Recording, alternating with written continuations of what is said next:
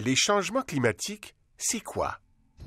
Tout d'abord, il faut savoir que l'effet de serre est un phénomène d'origine naturelle qui maintient la température moyenne de la planète à environ 15 degrés Celsius, en retenant dans l'atmosphère une partie de la chaleur qui nous provient du Soleil.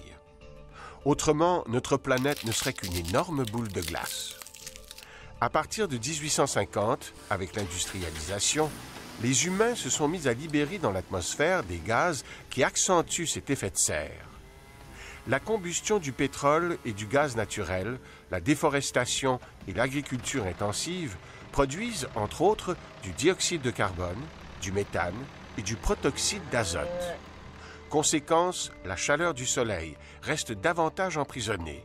L'atmosphère se réchauffe. Selon le calcul des scientifiques, la concentration des gaz à effet de serre dans l'atmosphère est passée de 270 parties par million avant la révolution industrielle à plus de 400 parties par million aujourd'hui. C'est l'accumulation la plus importante en 800 000 ans. On remarque déjà une hausse de la température moyenne de l'atmosphère de la planète de près de 1 degré Celsius.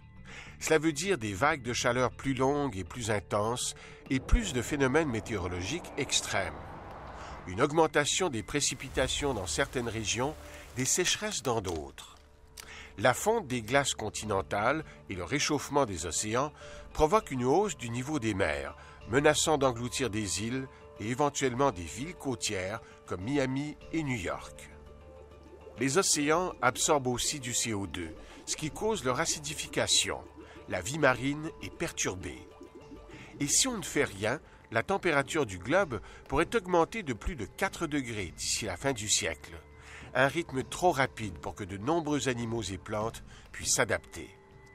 Par exemple, le taux de mortalité des saumons sockeye augmente en Colombie-Britannique en raison de la hausse des températures de l'eau dans le fleuve Fraser.